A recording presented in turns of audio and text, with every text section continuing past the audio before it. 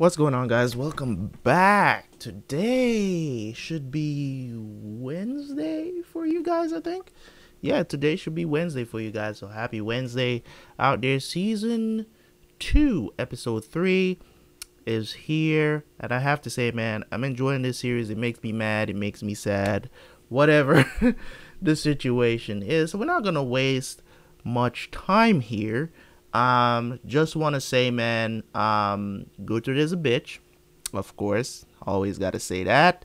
Um, got to call out the people for who they are in this series. You know what I mean? It gets me so mad that people can just turn on this guy so easily because for some reason they view him as a threat when he's actually not. When all he's trying to do is get home. This man has two people he wants to kill his uncle and Kjartan and freaking Sven. That's it. Three people, if you want to say that. Three people he wants to kill. This man don't give a shit about anybody else. He just wants to kill those people because Kjartan killed his family and his uncle took his birthright, right? That's it. The man, he'll help you if you help him. That's about it. He'll help you if you help him. I can get why you wouldn't want to listen to Uhtred sometimes. I really do. I really do. I really get it. But at the same time, why betray this man? Why betray this man? This man has done nothing. Yes, he's a bit irrational sometimes. Yes, you know, because he lets his he, he, he, he, um he lets his emotions drive him too much sometimes, over the edge at points. But does that mean you have to shaft him so much every time? Jesus, man. I'll see you guys for the review.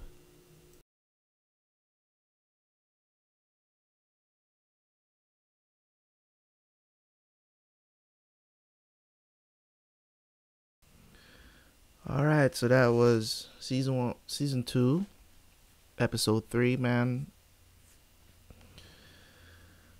this series gets me so riled up. I didn't expect this. You know what I'm saying? I really didn't. I didn't expect it to um, be. Shut up, Siri. Right? I didn't expect it to be like this with this series, and and it is.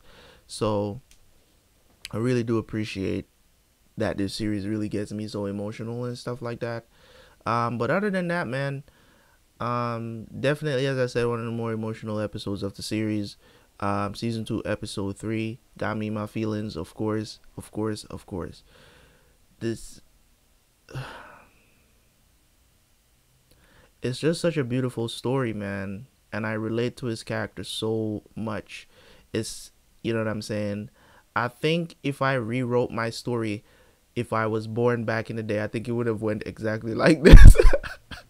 I'm not even kidding you, bro. I really do feel like this man, you know, if I lived my life back in those days, I probably would have went through some shit like this. I'm talking about from maybe not the whole, you know, importance because I'm like the, you know, well, I I don't know. I don't know. But other than that part of it, you know, coming from an important family, I guess.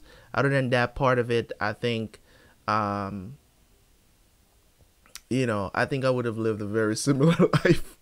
um, not to the T, but definitely very similar within the things that he's going through and stuff like that. And it, it, I know they're doing it in the show to show that contrast between his character and other people's character, and how easily people who call you friend can just abandon you, and Uhtred doesn't do that because he's a he's.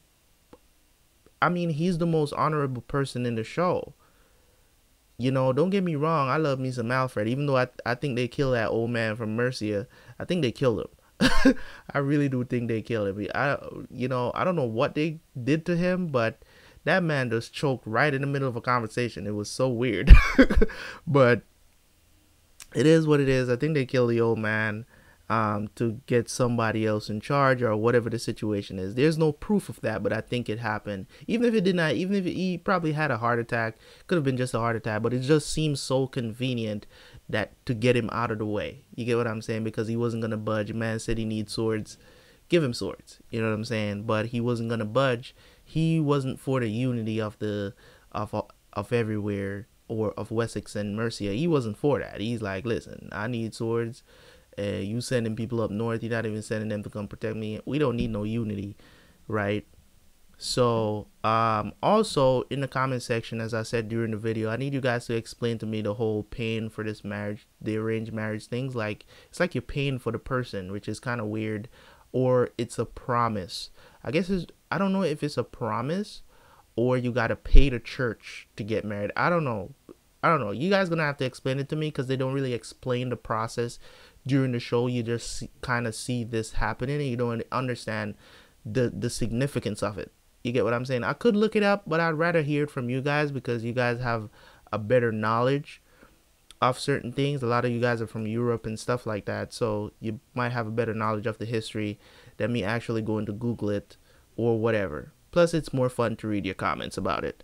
Um so yeah man that was a pretty good episode. I really enjoyed it um, emotional episode. Definitely, the actors definitely killed um, all the scenes in this episode, man. I'm so glad that Ragnar showed up right on time. Sven with his bitch ass running again. Run back to your daddy, bitch. You know.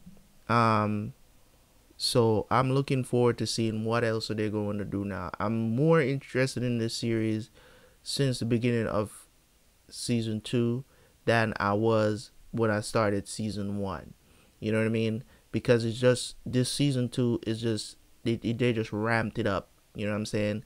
So far, every episode this season has been a 10 out of 10 for me. So we might be on the way to the first 10 out of 10 season. Gave season one 8, 9 out of 10. So season two might get a 10 out of 10 from me. But regardless of that, very good show. I'm enjoying it very well.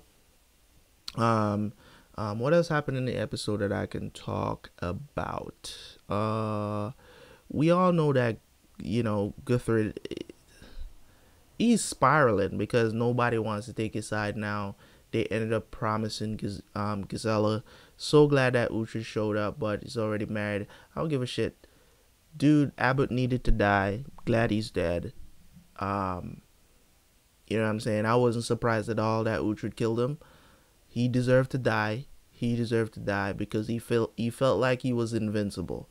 And they all talking about, oh, he's a, he's a man of God. That man was no man of God, okay? He was manipulating Guthred to do whatever he wanted to do. That's what he was doing. And that's why I don't care.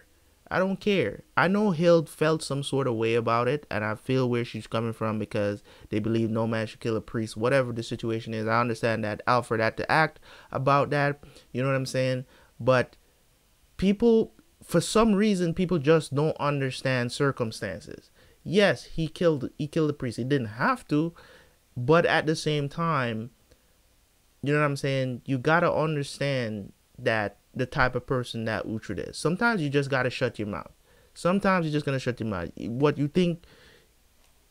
I think he believed that Uhtred would have never killed him because oh, this and that and whatever. But now he dead. What? Now you dead. What? You've been forcing things this whole time. Now you gonna force somebody to get married because oh y'all think y'all think shit is cute around here. No, he deserved to die as I said, in the context of the show, he deserved every bit of that knife that he got. Every bit of it. But in any case, you guys might disagree, but that's my stance on it um, right now. Yes, I know I've said it I've said it before and I've admitted to it. Uhtred does act irrationally sometimes. Um, you know, and act out of anger and he's very emotional because this man just basically had had a hand in killing one of his friends. He is fresh off of all of that. You are not going to sit there, Mr. Judge, in the comment section and tell me that you in that position wouldn't be emotional and angry about what they're doing when everything is so fresh. Everything is so fresh. You know what I'm saying? Yeah, you might have that kind of restraint, but I don't care. I don't think I think I probably would have done the same thing in Uhtred's position by killing that dude because the, he warned him probably like three times, like say that shit again, and he kept saying it, and he said say it again, and he kept saying it. Nah, get down to the ground. That's what you get. You know what I mean? You know, and I feel bad for Hild. I don't know if Hild is gonna stick with him now. That that he did that, I don't know. Or maybe she's gonna feel like she's cursed or something. But you also gotta understand that Uhtred is is a pagan. That's what you guys call him. That's what you guys call him. You guys say he's a pagan, so he doesn't belong to to any group. He's a man on his own. He don't belong to the to the English. He don't belong belong to the Danes.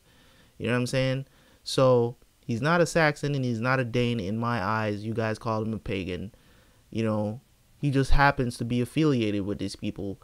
To be honest, that's how I look at it. So in any case, guys, I appreciate y'all. I will catch you guys later. Don't forget to like the video. Don't forget to comment.